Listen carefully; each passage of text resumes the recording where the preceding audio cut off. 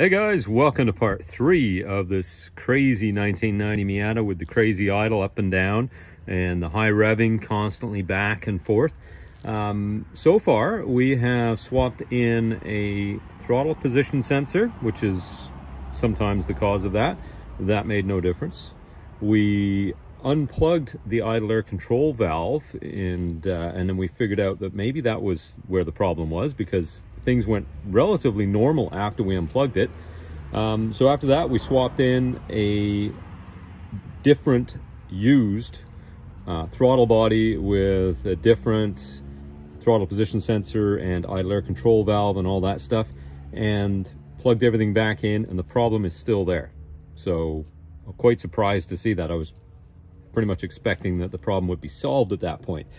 Uh, next, what we're gonna do is we're gonna change out the air valve here or the choke control valve. So we're gonna change that out and we're gonna see if that makes any difference, okay?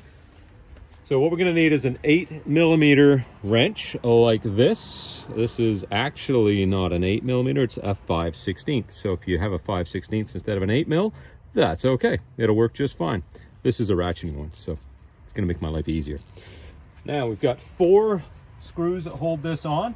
Now they do have a Phillips number two head on them, but there's no way you're getting a screwdriver in on the bottom two, so that's why we're gonna use this, okay? So just gonna make sure we're going the right way. Okay, so. These out. So they're quite long, so you need to uh, Actually, you know, before, actually I'll do it after. We're also gonna have to take these two lines off as well. Now these are coolant lines. Coolant flows through here and back out the other line. So if your car is really hot, you're gonna have hot coolant in there. So let the car cool down first. Now I should be able to get to these guys.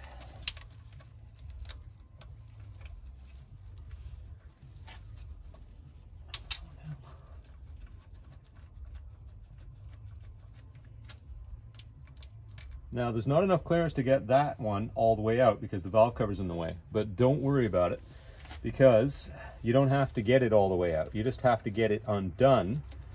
And then with it still sitting in here, there's plenty of room to pick the whole thing up and out after. So just like that. So you see, and then we can pull it out. So that's what we're gonna be changing here. Now right away I can tell that this gasket's compromised here. Um, so it's it may or may not have been getting a proper seal here. Now that could have been from somebody playing around with it at one of the shops beforehand. But what we're gonna do is we're gonna swap it out anyway. And we're gonna hook up the new one, or the, the new used one, which looks really new, uh, right here. And we're gonna put that one on in its place, and then we're gonna fire up the car and see if we get any, any different results than we've had so far these off. And again, you've got 30, well, these guys are like 32 years old, these hoses, so be gentle. Try not to poke them or damage them in any way if you can help it. And if you do, just uh, you may be able to just cut a little bit off the end and then just reinsert it, like I did on the one on the idle air control valve in part two. So we want to be careful how we do these. Yeah, this one's a bit swollen. It doesn't want to come off.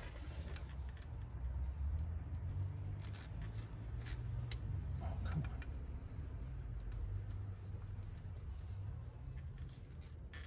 Yeah, it's never been off, you see, in all those years. So just gonna wiggle it a bit. Patience is key when you're trying to get this stuff apart. So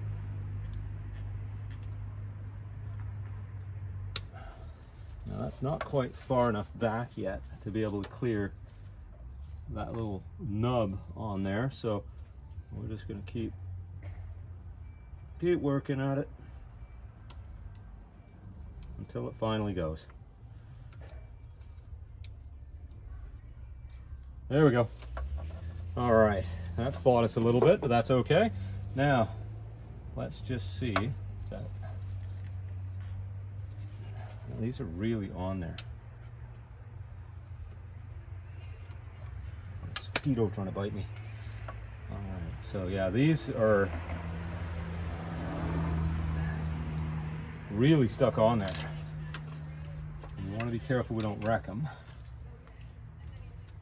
So what I'm going to do, I'm going to very carefully take my small screwdriver and see if I can break the seal here. Just slide it in and then around, trying to make sure that I don't I keep my blade. Now this is a fairly rounded off one, so it's it doesn't have pokey sides or anything. So if I can just stretch that a bit, just to break some of that. Yeah, oh, that's gonna be a tough one. It'll come off though. Slow and steady, just nice and easy. Don't don't rush it.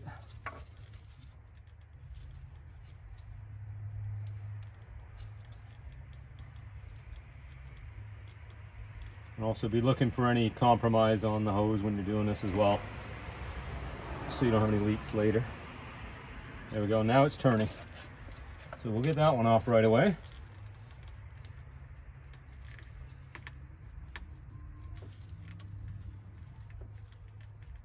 And again, just wiggle it back and forth, nice and slow until you get it going.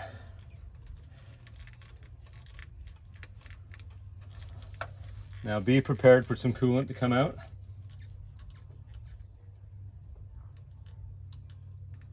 There. And try and stand it up if you can. Whoop. Here we go. Now we got coolant coming out. So I'm going to plug my that one with my hand. And I'm going to try and yeah, it makes a little easier now to get the second one off because we can grab the whole thing and twist it without having a second line there. There we are. Okay, that's off. Bye-bye. Now,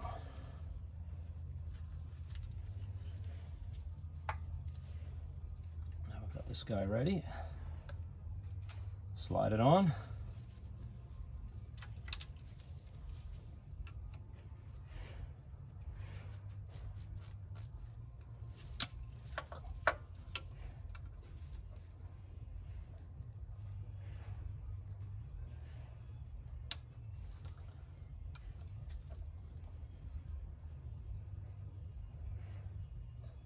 There we are. Okay, one down. And be careful of this rubber gasket that's in the back here. Now this one's nicely seated and what I've done is I've put some dielectric grease on it just so that it slides nicely and makes a good seal when we put this thing back together. But just be careful of that, rubbing it in the dirt and things like that.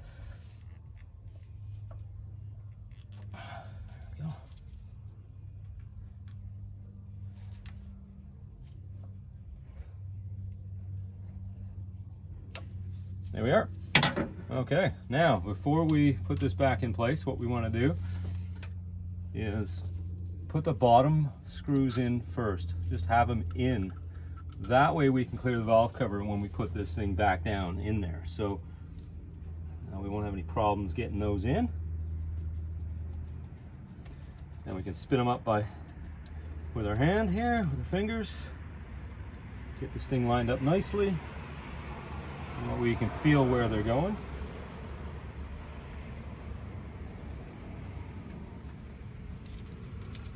two more.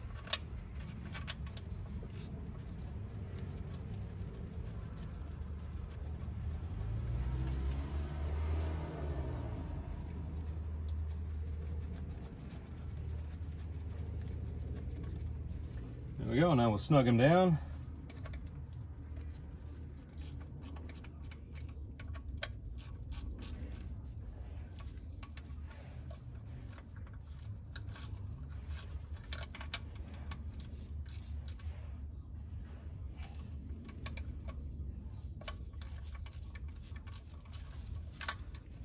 Almost there, guys.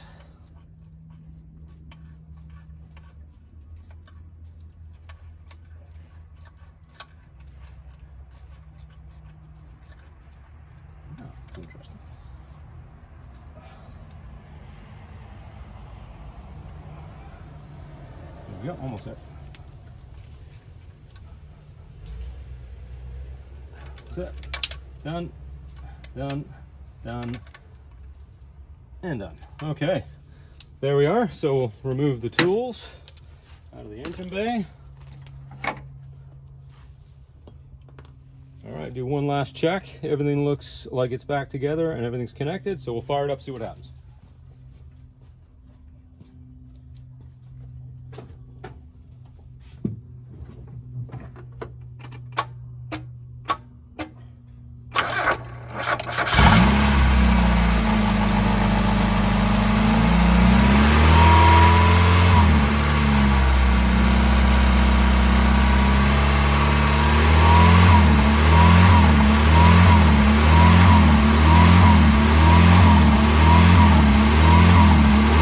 That wasn't it either, guys. I'm gonna shut it down for a sec.